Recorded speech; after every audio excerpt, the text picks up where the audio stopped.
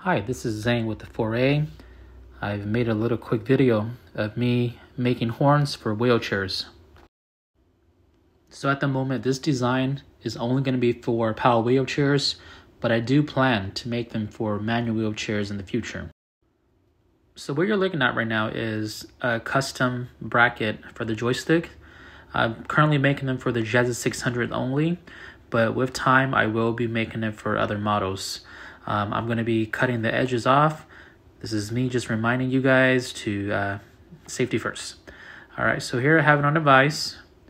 And there I got done cutting it for the angle to fit. I also drilled some holes for the joystick. And here's the joystick, well, the prototype joystick.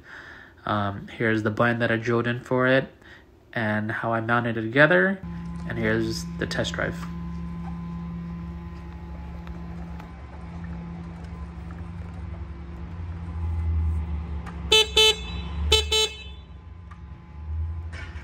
So one of the reasons why I decided to make these horns was because uh, people in wheel wheelchairs have told me that when they go places, when they're driving around, they're not heard.